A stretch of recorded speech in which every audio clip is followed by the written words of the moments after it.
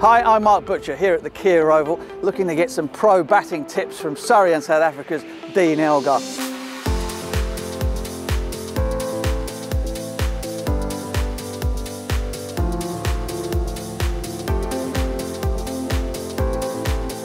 Dean, we're going to be talking the pull shot today. As an opening batter, I maybe tend not to play it and once I get my innings going I, I start playing a little bit more once you get a little, little, bit more confidence and once you get used to the pace of the surface. Let's uh, go through one or two drills so you can show us how you do that exactly.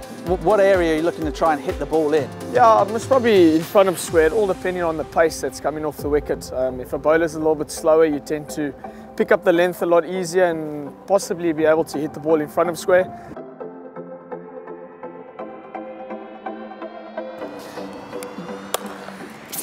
Great stuff. So what would you say are the, the two key factors then when you're, when you're drilling the pull shot? I think number one is, is pretty important. It has to do with everything with batting and that's watch the ball. And, and trying to stand as still as possible at the crease. If you're moving around too much, you're going to have no control over where the ball's ultimately going to end up. And more times than none, you're going to be sitting upstairs watching the game and watching your mates bat instead of you batting. Great stuff. There's the pull shot, folks.